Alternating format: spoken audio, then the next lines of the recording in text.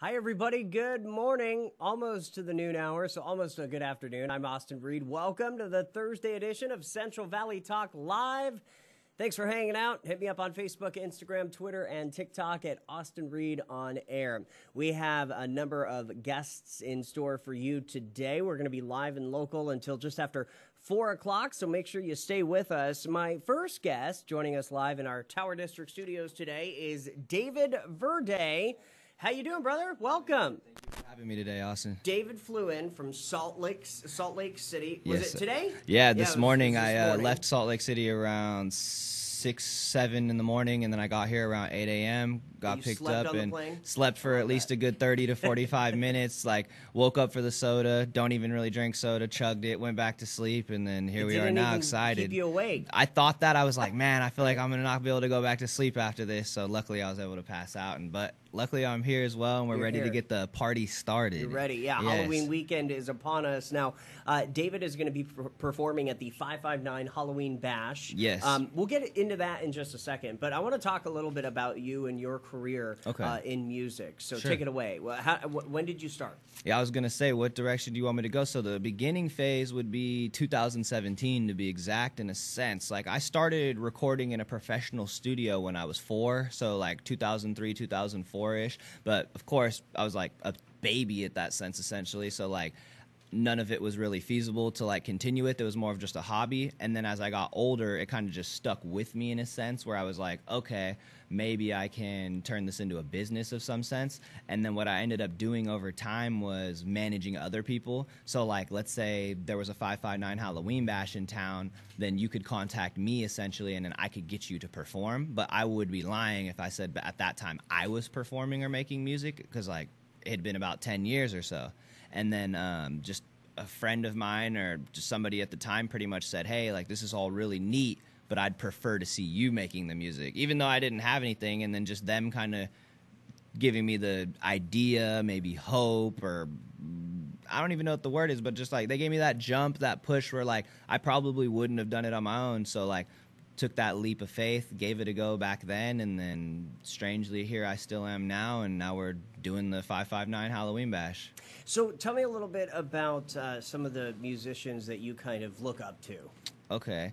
Uh, looking up to wise could be like anywhere because like I listen to all different types of music. So like I don't know, like if I go back to like my childhood days, like I lived with like my grandparents, so like they always listened to different types of music compared to what I listen to now. So like my grandma, for example, always listens to Michael Jackson. Okay. We have like all of his magazines, all of his little action figurettes, CDs, whatever the case may be. We have it merchandise wise. So like I probably know like every word to every Michael Jackson song, not by choice, but just because like just growing up, like literally that's all she played in the Yeah, car, like in around the house, like all that stuff. And then my grandpa, like everybody laughs because like if you play like check yes or no or something by George Strait, I would know like every he a word.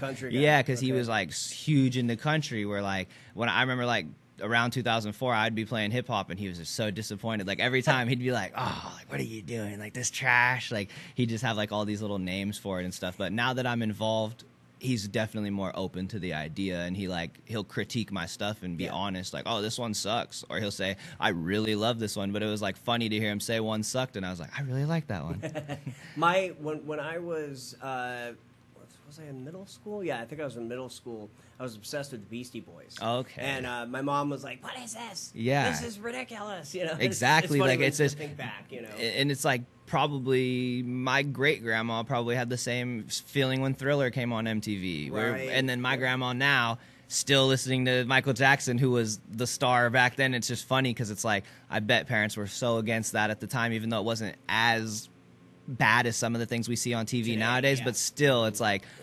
It's just funny because it's like they're hypocrites. Right, right. I know, I know, I yeah, know. like they're definitely hypocrites, and then they, they might notice it at some point once you explain it to them like that. Like, oh, dang, like I guess you're right. So I've definitely missed out on some opportunities due to like the music thing of like fear, like my family like thinking it'd be like too scary for me to like do something with Drake. Mm-hmm. I remember like he came to Sacramento years ago, and I wanted to try to like meet him, and my family was just like, no, like you're not going. Like it sounds so dangerous, and then like just so like sometimes just some things don't work out for a reason, and then like I can't complain. I think like I think between the 2,500 plus people we have coming this weekend, it ended up working out in the long run. So uh, you're going to be performing, obviously. Uh, I'm gonna be hosting essentially. I So you're might hosting, I might surprise everybody Yeah. and do like a new song that I just made. Okay. It's not out yet. It's Okay. very different from what everybody's heard from me so far. I actually do have uh, my backup dancers who are gonna be coming. So like if I don't specifically perform, they'll still dance to my music. Okay. But I'm gonna be running and coordinating the event, so I don't know if I'm gonna have time to hop on stage So this you're time. gonna be, M-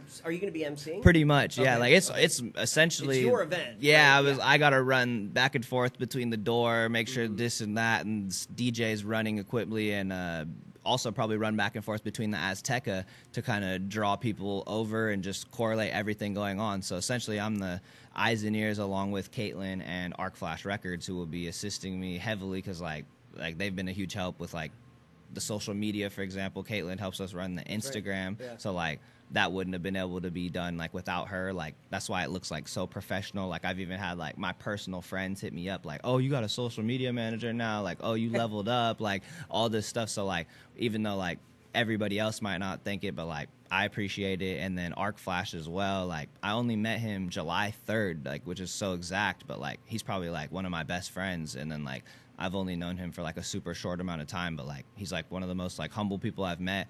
And like he doesn't even like rap, which is hilarious. Like I wouldn't say he doesn't like it, but he's not specifically a hip hop fan. What is what, what fan of music is he more? He just he just went to um, Aftershock. oh. So like, and he doesn't like newcomers. So like, he probably went to go see Metallica and Uh-huh. stuff. So Yeah. like, when I was with Or him rock. hanging out, he was buying patches for his vest and stuff. So we're like night and day. We have Right. a picture with a famous rapper together. It's Uh-huh. funny because the rapper's in the middle and it's me and him, and then we just look like complete opposites. Yet the s- it's just so funny. So like, great though that we got him in on this opportunity to make something so big happen in a different genre because now I'd like to maybe go into his genre and do shows. Sure. So like it's definitely been an experience for us all. We're all around the like 21, 22 year old age. I think I'm the oldest or second to oldest. My manager, NorCal Next Up, Dom, is 24. I'm 22, and then the rest of us are between like 21 and 22. So it's all like pretty young people making this happen. Besides like our like friends who are local and stuff who've been way more than helpful getting rid of all of our tickets because obviously without our local people we wouldn't have been able to get rid of any of those physical tickets. We would have just gotten rid of the 700 online. Now it's 2,500 physical plus the 700 online, and like we can't complain. So let's let's talk all about the event now. Um, again, it's going to be uh, tomorrow night, seven, 7 o'clock. p.m. Tulare Street Bistro. It's going to be four minutes away from the exact venue where it was set to be, the Azteca Theater. The reason we're moving is because we have so many people coming that it's Just kind of demand, huh? impossible to like do it at the original spot. Like everybody knows who was going to be there the night after us. I don't need to like name drop, but like our show was pretty much just as big as theirs. So just due to venue capacity, come on over to the Tulare Street Bistro. Uh, free tickets for ladies all night long, and then free admission for all until 8:05 p.m. And then after 8:05 p.m., prices are subjected to what they are at the door. So um, now, the how long do you think the event's going to go? Uh, I'll be honest with you, till closer to midnight. Nice, At least, yeah, because we're probably gonna have the performances start around seven, eight, seven, eight p.m. depending on just how everybody gets in and everything, like um, door wise, because we don't know what the demand's gonna be at the door, and then yeah, probably at least till at least till midnight. Expect to be in the house till like after midnight. Yeah. We were just looking at your Instagram. Um, I want to talk real quick about uh, what's next for you and, and, and your and your musical uh, career. Mm, essentially i just deleted a lot of music to be honest which Okay. like a lot of people don't really care for that factor. Like i've actually been in situations where they like won't let you delete your music or something so i'm signed to gt distribution. Shout out to gold toes and slash empire. So i have a distribution deal with empire records in san francisco california and then that kind of gives me the power to put out my music to all these major platforms get all these major opportunities. And it's just a, been a big help to be honest. I'm glad he called me and gave me the opportunity. But um, I deleted a lot of my old stuff because I would like to go in like a new direction. And I think it's kind of like maybe all the new people I'm surrounding myself with and just all the new business where I'm just kind of trying to be as marketable as possible, as commercial as possible, and just as me as possible as well. And then like even though maybe those other songs were me, they were maybe me at a different time or just maybe a different quality than what I'm going mm-hmm. for today. So long story short, uh, which is not a story, short story, just expect like a lot of new stuff from us going okay. into the future. And then like we have San Jose Saturday, so you can come down to Tank Shop. You can Google that. It's Tank Shop. Uh, I don't know the exact address, but San Jose, California. You can look that up on Instagram or Google or contact me on my Instagram on the screen. And then we have Sacramento, December 31st. We just locked in Salt Lake City. We've locked in Las Vegas. And then we're working mm. on doing um, Lethbridge, Canada, and Waikiki. Sorry, Hawaii people. Somewhere in Hawaii. Somewhere in we're Hawaii. going to go crazy, turn up, love you hawaii. I'm so sorry i butchered that. But like yeah like honestly we're doing a lot of different cities and i'm pretty much going to be headlining most of them so it's going to be a good opportunity for me and everybody involved to see new things because i've never been to hawaii. I've been to canada for like a layover. So like mm-hmm. these will be like new things. Like today i've been to fresno three times. So i came and did a radio interview with dj dougie some years ago if you if you're familiar. What station is he on uh, this he does a local uh, radio station. Okay. It was in the mountains. I don't remember uh, the exact one. I'll have to share that with you. Yeah. Um, and then I had, came out here for a show in 2019 at the theater, and then during COVID, I actually headlined a show at the um, Le Kebab Mason, and it was just David Verde live, and we drew a great crowd, and we did it outdoors, of course. Right, right, yeah. yeah. Well, uh, everybody, uh, check out uh, 559 Halloween Bash, again, presented by David Verde, uh, tomorrow night, 7 o'clock, Tulare Street Bistro. And uh, sounds like it's going to be a freaking off. Yeah, everybody pull up. We got a lot of dope posts. Go ahead and check them out on Instagram. Caitlin J. Lopez, Arc Flash Records, and NorCal Next Up. Everybody else involved as well. Thank you for coming out and helping. But essentially, it's going to be a movie, and we can't wait to see you guys again. Caitlin is uh, in studio behind the scenes today. You know, she comes on uh, Central Valley Talk many times. Yeah, I've seen I, the video she yeah, did on here last uh, time uh, with Beaumont Media. And did I say that right?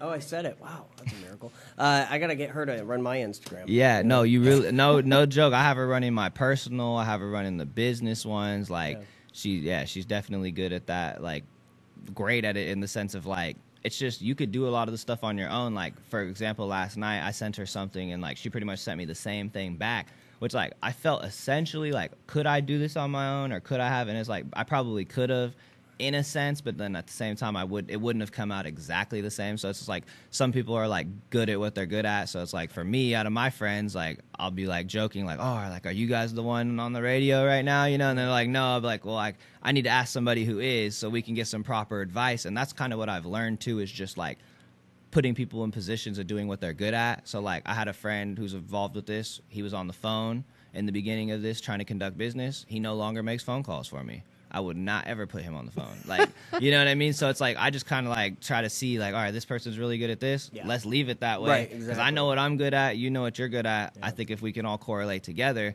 then we'll be a, a great, great team. Perfect team. Yeah. yeah.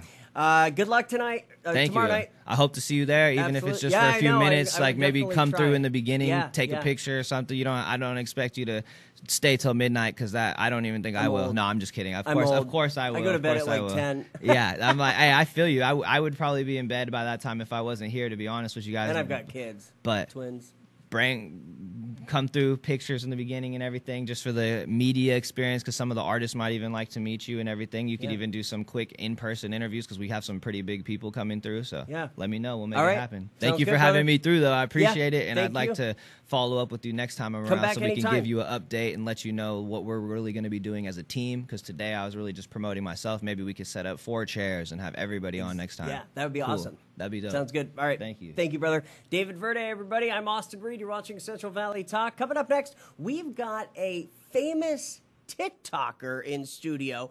And and get this, this guy has like 500,000 followers, uh, and he's from Fresno. That's next.